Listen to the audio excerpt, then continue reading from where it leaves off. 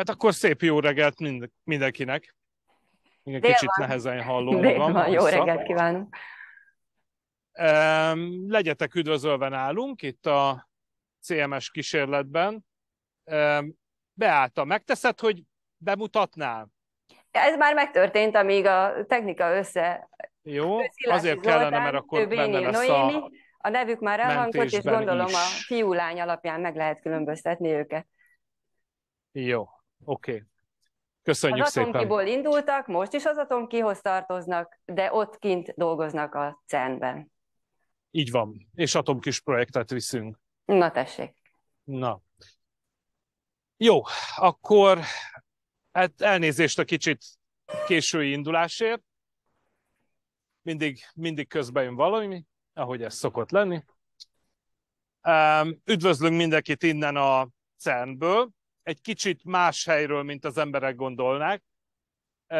Mi most a CMS kísérletnél vagyunk, az LHC CMS kísérleténél, és hogyha én beadom ezt a képet, és persze hagyjuk a, azért még ott egy kicsit, igen, akkor, akkor lehet látni a Genfi medencének a látképét. Ugye hát itt hátul van a Mont Blanc, a előtérben itt a Genfi tó, itt van a Genfi repülőtér, nagyjából három kilométeres kifutópálya, mögötte itt van Genf, városa, nem nagyobb, mint Debrecen, és hát itt az előtérben lehet ilyen sárga izét látni, ami nyilván csak Photoshop. Ez lenne igazából a gyorsítónak a földfelszínről, hát na, magyarul itt fut a gyorsító, hogyha a föld alatt. És hát azt lehet látni, hogy hát itt van rengeteg ilyen lakóházszerű izé, ebben a gyorsító gyűrűben nagyjából egy olyan százezer ember lakik. Tehát nem volt más választás, le kellett menni a föld alá, ezért vagyunk a föld alatt. Itt lehet olvasni, hogy a, a kerülete az 27 kilométer, tehát ez nagyjából összevethető a budapesti metró bármelyikének, mint a pirosnak meg a kéknek a hosszával. Nagyjából egy fél megyényi területet ölel körbe, nem respektálja az államhatárt, ugye ez a szaggatott vonal az államhatár, ugye a nagy része Franciaországba lóg át, egy kisebb része Svájcban van, és itt valahol, itt lehet látni, jó szeműek, ezen a területen van maga a Merani Campus, tehát az, amit igazából a köznyelvcernek hív. Nagyjából egy ilyen Margit-sziget méretű intézményre kell gondolni. Hát ezt alaposan kinőttük az elmúlt 60 évben, úgyhogy tulajdonképpen ezért van ez a történet. Na most itt még lehet egyéb ilyen feliratokat látni, hogy Atlas, ELIS, LHCb, CMS, ez a négy nagy kísérlet a gyűrűk körül, a, az Atlas meg a CMS a két nagy ö, ö, általános célú detektor, majd ezekről talán részletesebben is beszélünk, és ezeknek az biztos, hogy az átmérő mentén szembe kell lenni egymástól. Ez, ez, ez matematika. És ö, hát ha az Atlas van közel a, a Merani Campushoz, akkor mi vagyunk a legtávolabb tőle, úgyhogy mi itt vagyunk, mélyen Franciaországban, egy Szeszi nevű kis nagyon vonzó település mellett, és hát még egyelőre a föld felszínen, aztán majd Noémi le fog menni a föld alá is. Én azt mondom, hogy Noémi kezdjen el beöltözni, és lehet, hogy ezt megpróbálom meg is mutatni majd, és akkor a igen, és ott a, majd mutatom, ahogy beöltözik. Én most éppen egy ilyen nagy, kb. 400 négyzetméteres platformon vagyok. Ez egyébként azért érdekes, mert itt, ahogy látjátok, van egy elválasztás benne, amentén ez hátrafelé kihúzható, ez egy nagyjából két és fél, majdnem három méter vastag, inkább vas, mint beton fedőlemez, és alattam van nagyjából 100 méternyi függőleges akna, egészen le a, a detektorig. Megérkezett a kolléga, aki a Noémivel együtt le fog menni, MAF, Ők ketten fognak ma lemenni a föld alá, én meg föntről fogom tartani a, a, a frontot. Ezt leginkább azért fontos, hogy két ember legyen ellen, mert hogy hát a biztonság az alapvetően nálunk. Nem csak azért, mert hogy ha baj lenne, nem veszélyesebb, mint mondjuk a metró bármelyik része Budapesten, hanem inkább azért, mert bármi történik nálunk, akkor rögtön a, a vezető újságok címlapján kötünk ki, és hát nyilván ezt mi olyan nagyon nem szeretnénk. A, na hát akkor én még, még egy dolgot azért, ja igen, tehát itt van a, a négy ö, nagy kísérlet, meg egy másik nézőpontból az LHC. Ö, azt lehet látni, hogy van még itt valami izé, ez egy másik nagy gyorsító, nagyjából 6 km hosszú, és hogyha az egész gyorsító komplexumot megpróbálom kibontani, akkor, akkor azt lehet látni, hogy hát van egy ilyen kuszasság, ugye itt az LHC a legtetején, van egy SPS nevű, amiről az előbb megemlékeztem, ez is olyan 6 valamennyi 7 kilométer a kerülete, tehát nem kicsi, és van egy csomó apró. És valahol itt kezdődnek a vonalak. Ugye a többi az vagy körbe megy, vagy összeköt valamit valamivel, vagy véget ér valahol, de erre ma nem fogok beszélni. Tehát ö, ö, valahonnan innen indulnak maguk a protonok, és különböző előgyorsítókon keresztül jutnak hozzánk. Ennek nagyjából az az oka, mint amire az autóban van különböző sebességi fokozatok. Nyilván hármasban is el lehet indulni, van, akinek ez már sikerült, csak általában a tulaj szokott akkor csúnyán nézni, meg lehetne hármasban vezetni az autópályán is, csak hát nyilván akkor meg a többiek néznék rossz szemmel, és minden esetben az autó károsodásához vezetne a dolog, tehát magyarul nem optimális. Ugyanez a nem optimalitás miatt nem célszerű egy nagy cirkuláris gyorsítót építeni, és állóhelyzetből, tehát az úgynevezett klasszikus fizikából indulva gyorsítani a protonokat. A fénysebesség 99 egész, most jön majd 6 darab 9-es, meg még valami számok százalékáig, tehát mert ott már egy kicsit máshogy működik a fizika, más berendezéseket kellene csinálni, ha nagyon kellene, megcsinálnánk, de borzasztóan ö, nem lenne optimális, nagyon sok protont elvesztenénk menet közben. Ráadásul nekünk itt voltak a régi gyorsítók, tehát igazából nem kellett építeni semmit, csak újra használni. Ilyen például a PS, ami az első nagy dobása volt a CERN-nek, vagy legalábbis az egyik első, 1959-ben épült, relatíve kicsi a mai szupergyorsítókhoz képest. Ő csak 24 gigaelektron voltig gyorsítja a proton, tehát a nyugalmi tömegének nagyjából a 24-25 szöröséig, um. és utána injektálják át, egyrészt kiszolgál egy csomó egyéb játékot, mint például a, a, a antiproton lassítót, tehát a antianyaggyárat, meg a neutron repülési időt, meg kiszolgálja az izoldeat, amiben szintén van szerepe az atomkinek. De hát igazából neki a, a legtöbb protont azt továbbadja az SPS-nek, ami, aminek azon kívül, hogy van saját tudományos programja, ja igen, itt az északi területen, azon kívül előgyorsítóként is funkcionál az ACMS, vagy az LHC-hoz. Ő már 450 gevig gyorsít, tehát azért, azért lehet érezni, hogy itt azért rendesen megnyomják a gázpedált, és ezen a 450 geven kapjuk meg a részecskéket, és utána, hát akkor maradok a gevnél, 7000 7000, tevig, 7000 gevig gyorsítjuk, tehát még megint van egy 15-szörös energiaátadás, és ott a végén ez az, amit mi itt az LHC-ban úgymond élvezünk. Halló, halló. még közben elindultak, én azt nézem, hogy halló, halló, hallatszom? képben is van, én addig elhallgatok, és hagyom, hogy ő beszéljen. Oké, okay. szervusztok. Itt vagyok még mindig a föld felszíne, ez a biztonsági beengedő kapója a föld alatti világnak. Amúgy a beöltözés csak biztonsági szempontból kell kemény sisakot hordani, meg biztonsági tipőt, aminek az orra, orra kemény.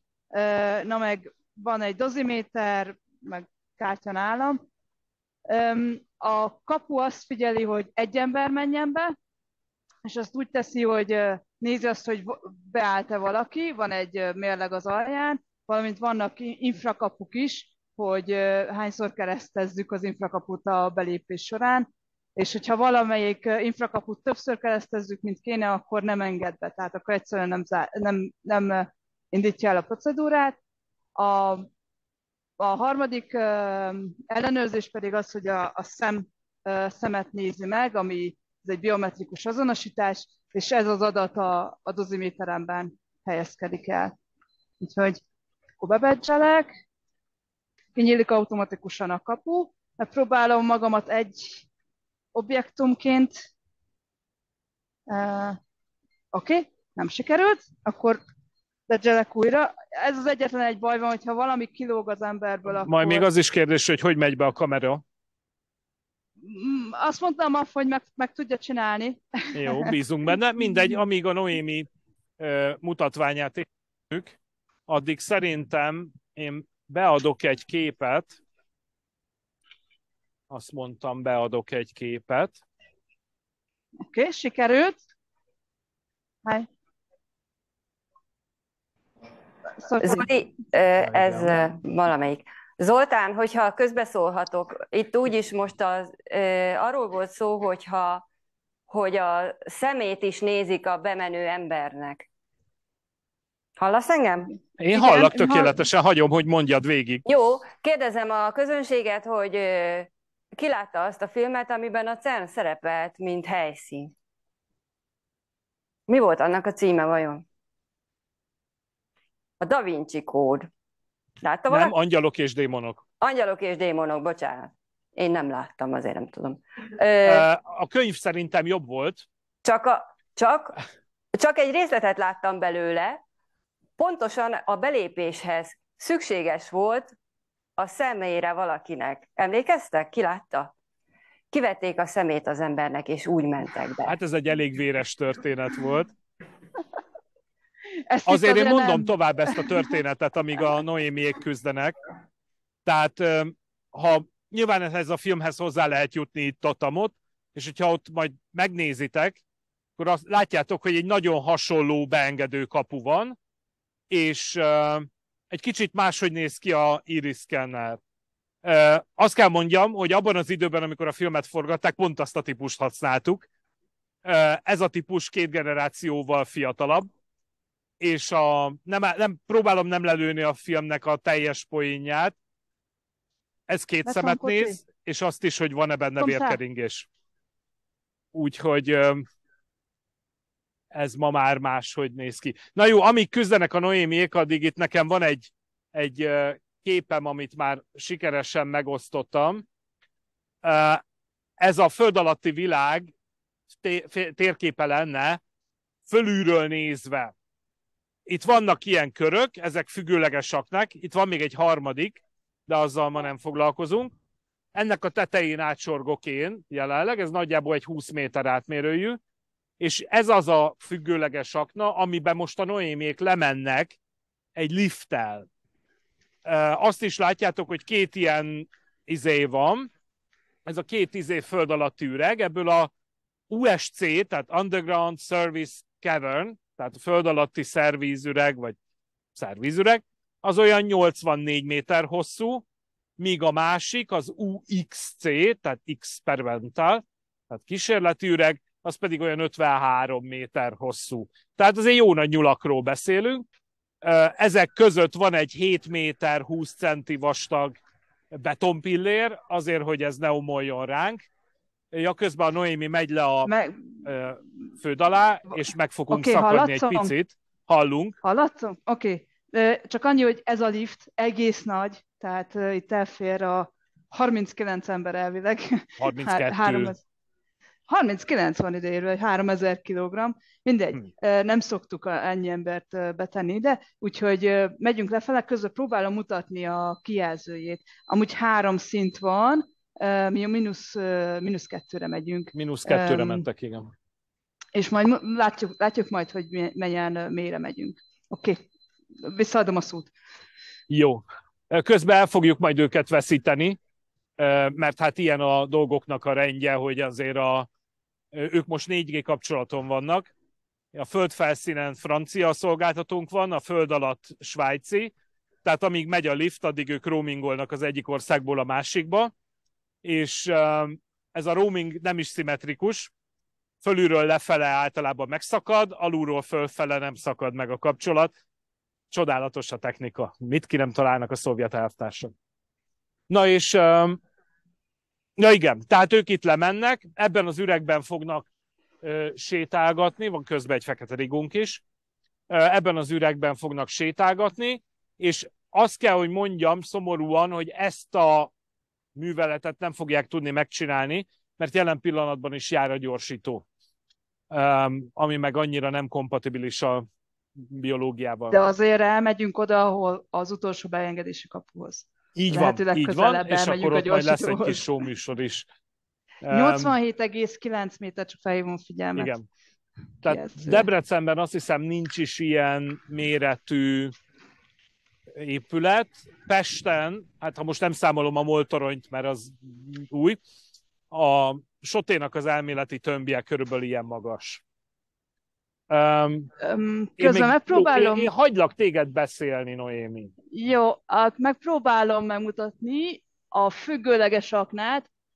Tehát a liftak, liftakna az a beton mögött van, és az a kis fehér kocka a képen, na az a földfelszíni épületnek a teteje.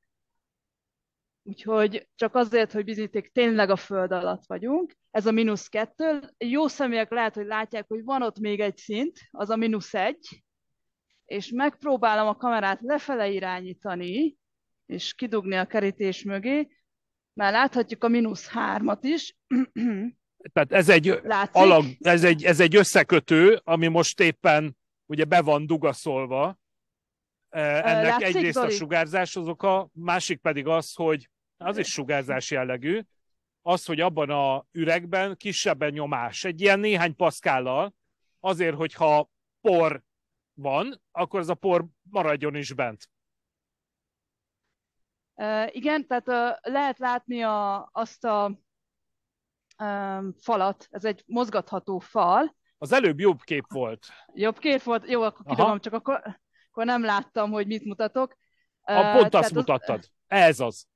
Jó, tehát az egy mozgatható fal, és nyilván amikor leállás van, és a detektorhoz hozzáférünk és szerelni kell, akkor ezt a falat kiszok, kiszokták nyitni a, a megfelelő szakemberek, és ez azért jó ez a függőleges akna, mert itt le lehet ereszteni nagy, nagy elemeket, azokat az eszközöket, amivel például hozzáférünk a detektorhoz, az az elemelő kosaras kis autó, és szerintem pont Zoli mögötted ott van, van a plagon egy-kettő ilyen, úgyhogy meg lehet mutatni. Ezek egész nagy és nehéz elemek, de ja, nagyon ha- bocsánat, hasznosak. Be kell, be kell magamat még adni.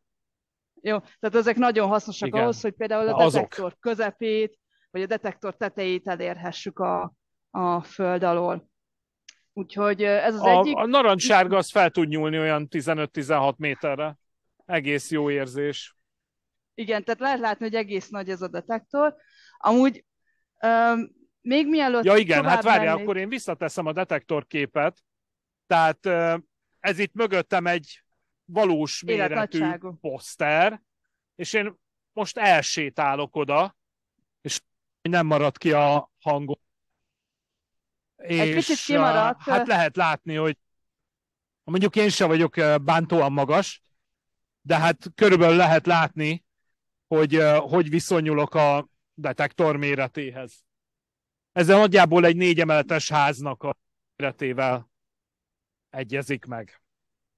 Szó esett arról, hogy, hogy ugye ez egy függőleges akna, ahol vagy, és, és igazából azért kellett ez a függőleges aknának ekkorának lenni, mivel a detektort a föld felszínen építettük meg annak idén, mivel ezen a ponton nem volt föld alatti csarnok, ez, ez újonnan lett kibányászva CMS kísérletnek.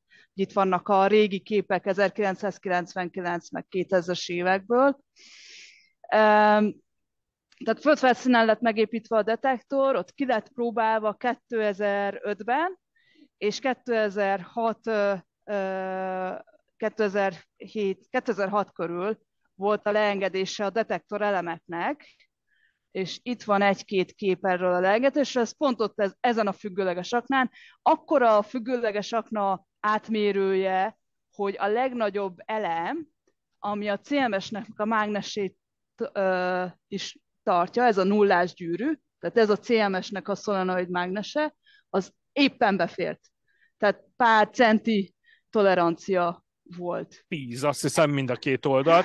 Hát lehet itt érzékelni, hogy a teljes méretű detektor szélétől igazából ennek a mi plagnak hívjuk, a széle gyakorlatilag nincs messze. Amúgy, ha különös... már itt van és forgatom a kamerát, akkor azért megmutatom, hogy hol vagyunk. Egy marha nagy csarnokban. Igen, ott Ebben volt a csarnokban épült föl. Igen, ott Igen. mutatja a Noémi a képet. A 2006-os mágnes tesztről. Um, azt elmondtuk, hogy uh, mennyi a súlya a detektornak? Tehát, hogy Én be egy... fogom adni azt a képet. Tehát és... egy elég nehéz, 12.500 tonna, ezt egy emberi mértékkel összehasonlításról azt szoktuk mondani, hogy kétszer az Eiffel torony tömege. Így ezek nehéz, nehéz objektumok, és ehhez nem a csarnokban levő darút használtak a leengedésre, hanem egy külön speciális gépet, ami utána a CMS megépítés után ment a dél-afrikai uh, foci, foci BB-re, igen, a stadion építését. Tehát ő egy munkás dolog volt. Um, és uh, tehát szép, szép képek, de ezt majd a, ha neten valakit érdekel, majd, majd nézhet ilyeneket. A leengedés az egy egész munkanapot vett igénybe, nagyjából 8 órát. 8 til, Úgy lemenne igen. ez ilyen 15 másodperc alatt, csak nem De akartuk. azt nem szeretnék. Jó, én me, ö, még, még ezt meg akartam mutatni, hogy, hogy ugye itt egy, mondtam, hogy új ö, föld alatti területet kellett feltárni, és mivel ezen a környéken azért volt, a, volt római birodalom, ö, nagyon régen, ezért ö, a ö, régészeknek ásatásokat kellett ö, végezni a környéken, és találtak is egy római kori villát. A római kori villa az megvan, a föld alatti üreg az nem a, a villánál kellett megépíteni, úgyhogy ez egy nagyon pozitív dolog. De hát ezt azt szoktuk mondani a látogatóknak, hogy lám-lám már a ókoriak is tudták, hogy a világegyetem egyik legklasszabb pontjáról szemlélhetik a világot, holott csak Közben... innen szépen rá lehet látni a Genfi tóra, de hát mindegy. Közben megyek tovább, a, Jó, ez az úgynevezett counting roomunk.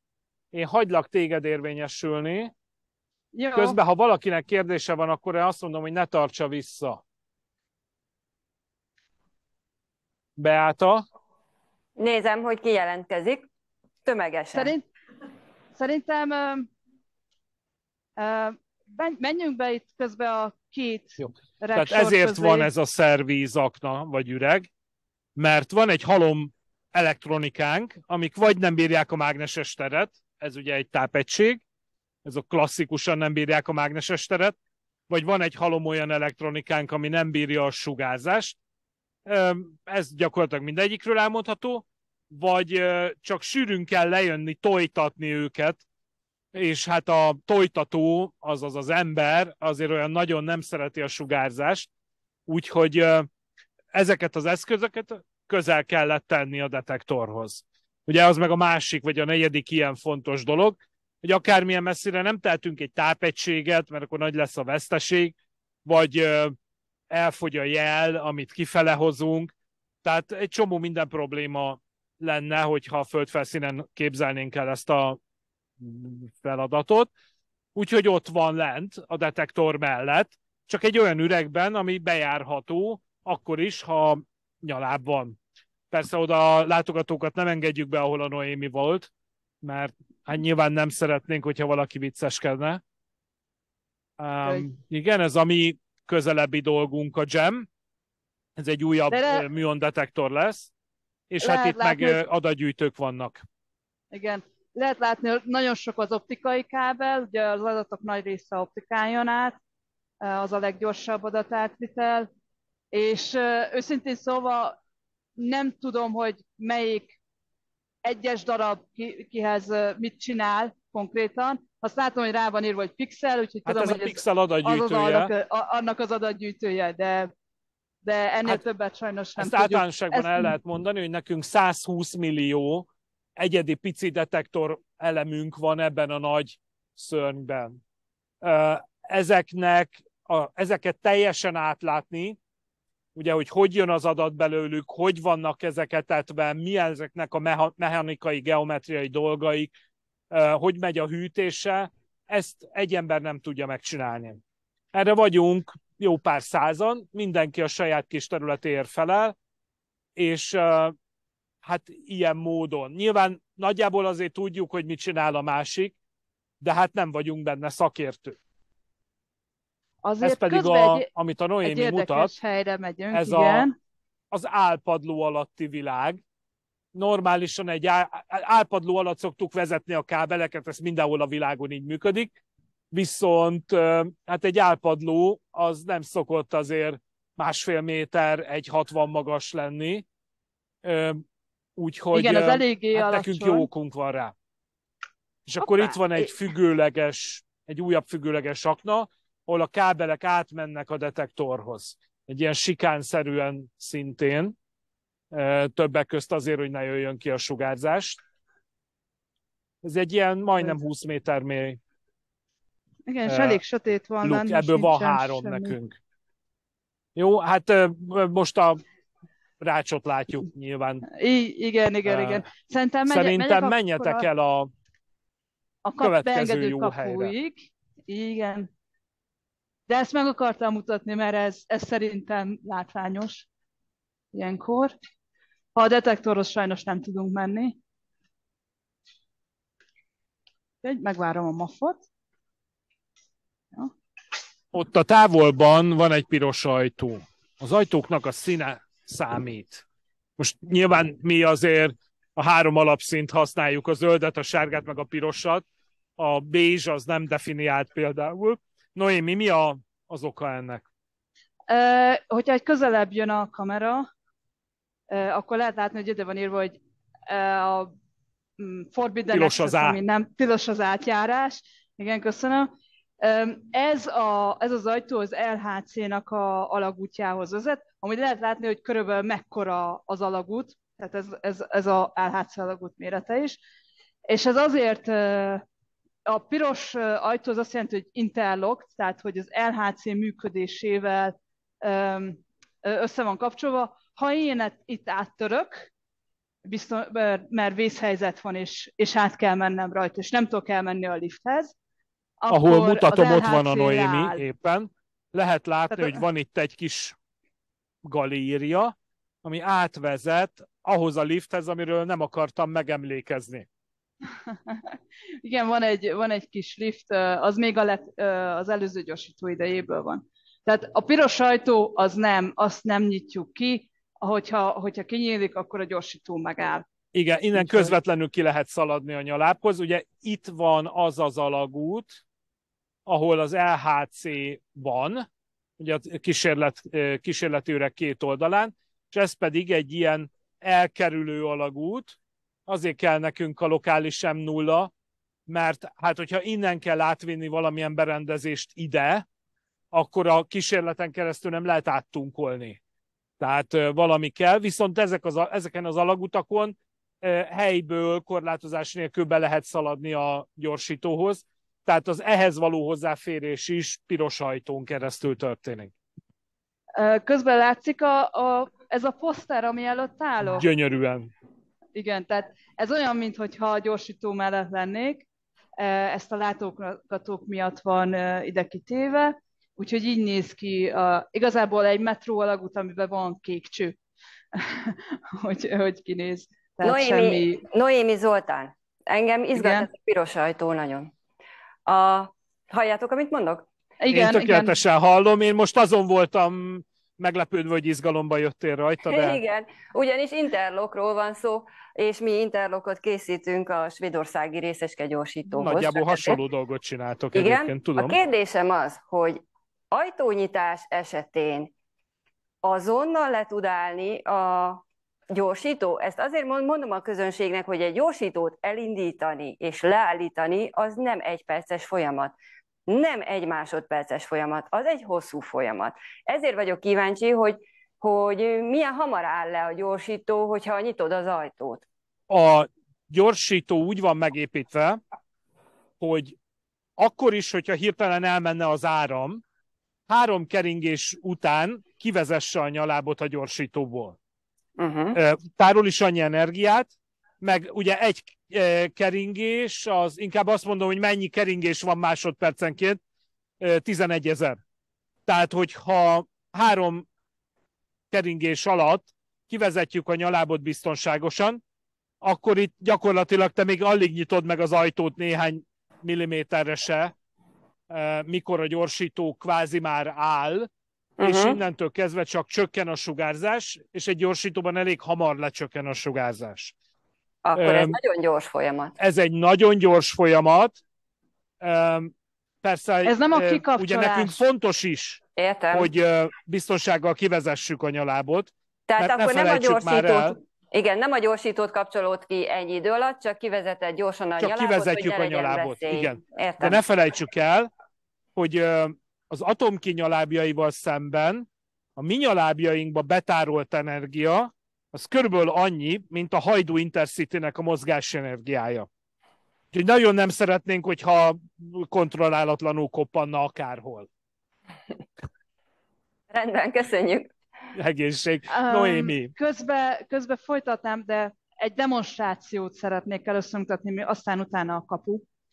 Um, a mágneses terünkről esetleg esett szó, hogy 3,8 Tesla mágneses teret csinál a mágnesen Ez belül. csak a normál földi mágneses térnek a százezerszerese, de ilyen és... például a debreceni bármelyik magnettorrezon, mi az emeri berendezésben van. Tehát ez nem egy olyan rettentesen nagy. És igazából a, azt akarom demonstrálni, hogy mi ugye ez a szerviz csarnokban vagyunk, nem a detektor mellett, de még itt is lehet érezni a mágneses teret. A detektor mellett még erősebb, azt hiszem 5 milli Tesla, ami, ami a legmagasabb itt a föld alatt. 5 milli Tesla az, ami a engedélyezett bármilyen uh, civil halandóra. A fal mellett, ahova te mész, ott már azért 10. Tehát azért Igen. szólni szoktunk a látogatóknak, hogy mondjuk Tehát... olyan implantátummal, amit mágnesesen lehet programozni, akkor oda ne menjenek. Tehát egy demonstrációhoz egyszerű uh, papíros gemkapcsot használok, és lehet látni, hogy itt, itt, itt semmi probléma nincs. Nem, nem akarnak össze, nem fogja meg egymást, tehát nincsenek megmágnesezve. De ha megyünk közel a falhoz,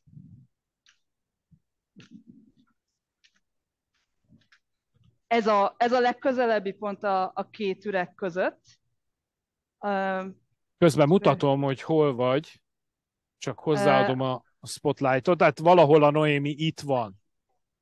És ugye lehet látni, hogy itt már lehet mágiát csinálni ezekkel a kis gemkapcsokkal, és egész, egész érdekes dolgokat lehet. Persze nem annyira erős ez a tér, és ami még a leg, legjobb demonstráció, csak az MAF-nak szólnom kell, MAF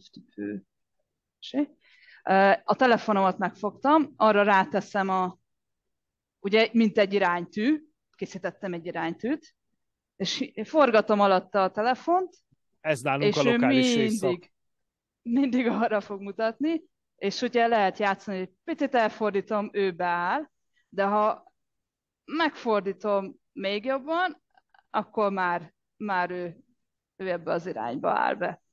Úgyhogy ez itt, a, ez itt az a hely, ahol, ahol lehet mágiázni, a, játszani a mágneses térrel. Úgyhogy van itt még a látogatóknak felrakva ilyen hosszú, egymásba kötött uh, gemkapcsok, és mind a, mind a fal fele, tehát a fal irányába mutat minden. Úgyhogy fel lehet szépen rakni a Hogyha nincs falra. kérdés. Igen, én közben a kérdéseket A kérdésem, amikor leállítják a gyorsítót, akkor ezek a, ez a kígyó, amit oda raktatok gemkapcsokból, ez elereszt? Ez, e, ami a, le tud a, hullani, a lehullik, ami fel van akasztva, az meg csak lóg. Uh-huh. Olyankor leszoktuk ez, ez szedni, mert akkor csak szemét. Ez lehullik. Úgyhogy, és nem hagyom itt. Na, akkor Aztán van olyan vissza... is, hogy nincs nyaláb, de be tudunk menni a detektorhoz, és akkor nem game kapcsokkal szoktunk demonstrálni, hanem egy 19-es villás kulcsal.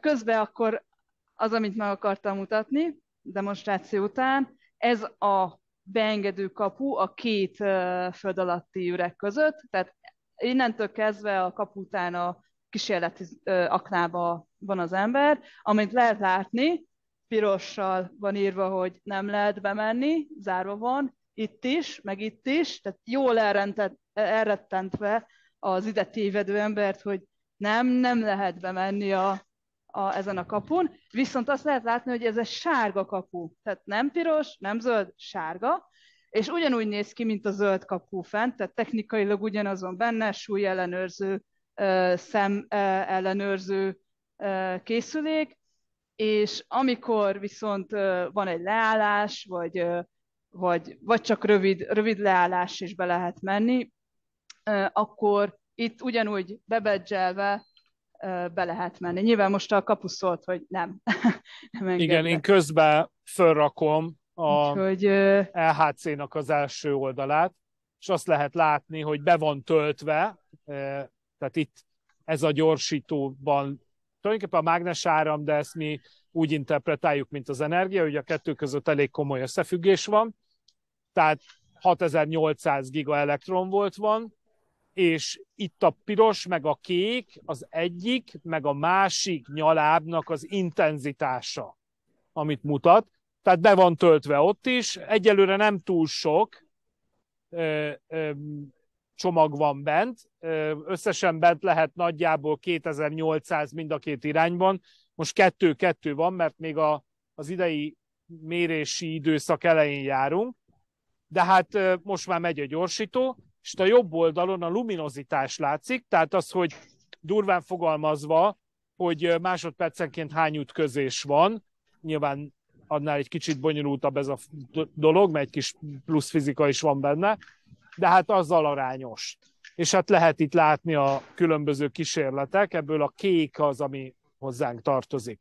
Akkor itt megint van kérdésem, hogy a közönség számára tisztázzuk, hogy itt a hatalmas 27 kilométeres gyorsító gyűrűről beszélünk, amiben egymással szemben száguldoznak most a részecskék, jól Így mondom? van, óramutató járásával ellenkező, meg az óramutató járásával megegyező irányban. És milyen részecskéket gyorsítotok? Ezek most? protonok. Én köszönöm a kérdést, meg kicsit úgy összeszedetlen voltam. E, igen, ezek protonok. A protonokat, ugye azt már mutattam ma, hogy hogyan töltjük be, tehát melyik gyorsító fázisokon keresztül, és a legutolsó pontban, tehát az SPS után a protonok egyik fele óramutatójárásával megegyezően jön be, a másik fele meg ellenkezően.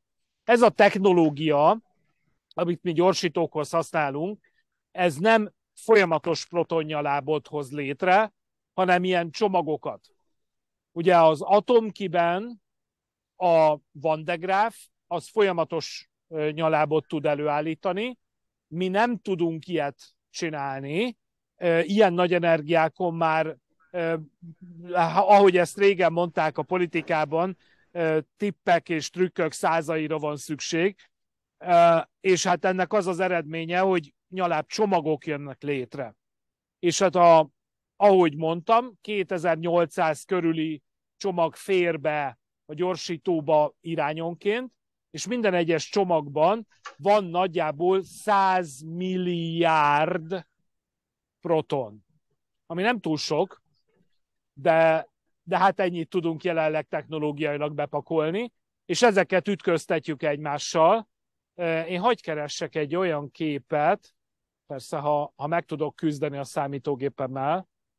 És akkor um, azt tegyük, tegyük hozzá, Zoli, hogy ezek nem minden pillanatban ütköznek, hanem bizonyos helyeken ütközhetnek csak. Így van. Így van. Tehát alapvetően ugye ezen a négy helyen hozzuk őket össze, ezt egyébként két, különbön, két különböző nyalábcsőben mennek, és akkor négy helyen ezt a két nyalábcsövet összeforgatjuk, megfelelő nyaláb optikával összefókuszáljuk a nyalábokat, különben olyan nagyjából egy milliméter átmérőjűek, ahol ütköznek, tehát például egy ütközési képet látunk, ahol ők ütköznek, ott nagyjából ilyen hajszálnál valamivel vékonyabbra nyomjuk őket össze, és, és hát utána ütköznek. És ütközik általában, ez itt a, az összes sárga pont, az egy-egy proton-proton ütközés, eh, amikor két csomag találkozik. Ugye mondtam, hogy van kétszer 100 milliárd részecske, és ebből ezen az ábrán olyan 70 valahány ütközés van. Tehát hiába van összenyomva, hiába sűrű, akkor is borzasztó kevés ütközés van.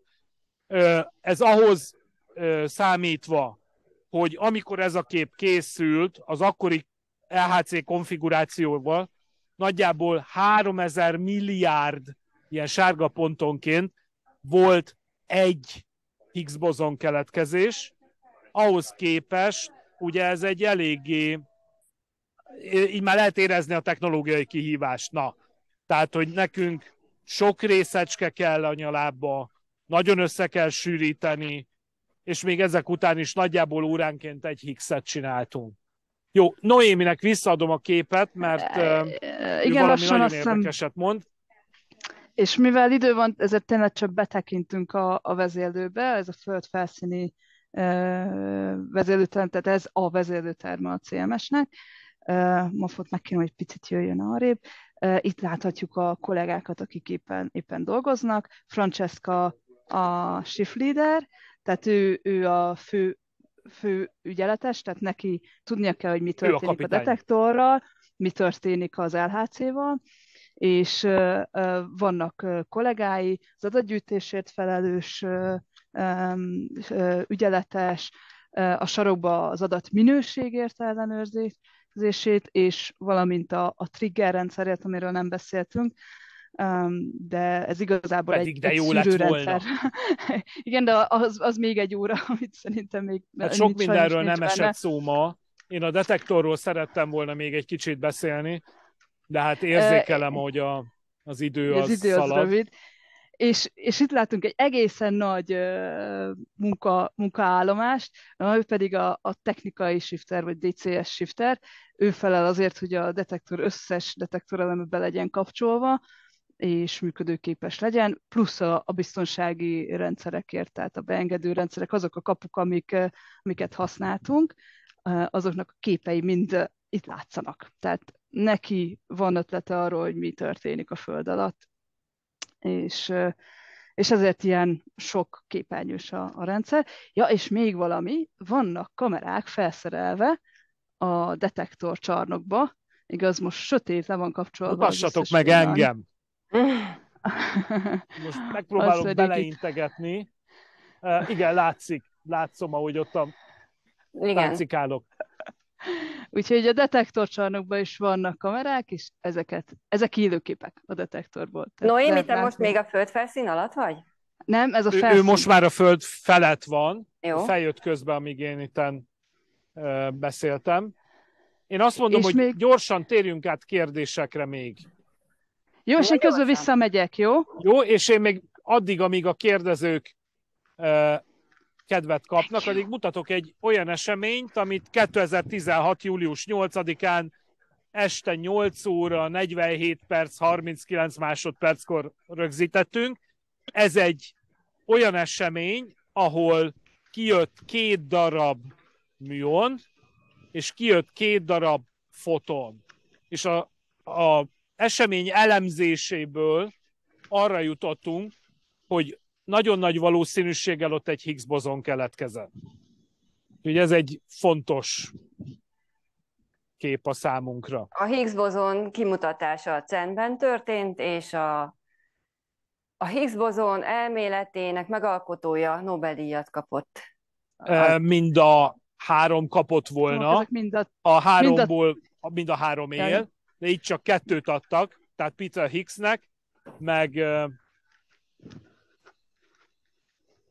meg egy belga kutatónak, igen, megosztva. Ez a Engler. egyébként egy eléggé húzós ügy volt.